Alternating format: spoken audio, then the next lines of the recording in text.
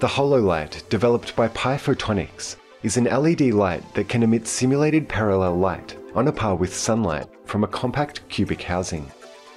The HoloLight has a large area, high brightness, and high directionality. It also generates little heat and is easy on the eyes. These qualities make the HoloLight ideal for showing holograms.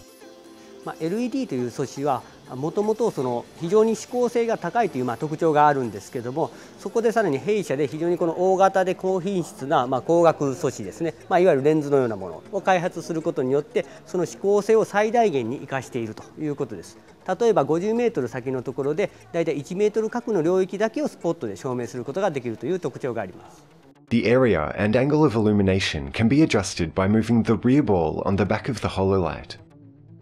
This light consumes little power so it has a long battery life, and the body is made of lightweight aluminium.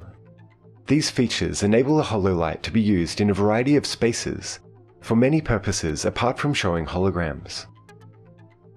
DigInfo News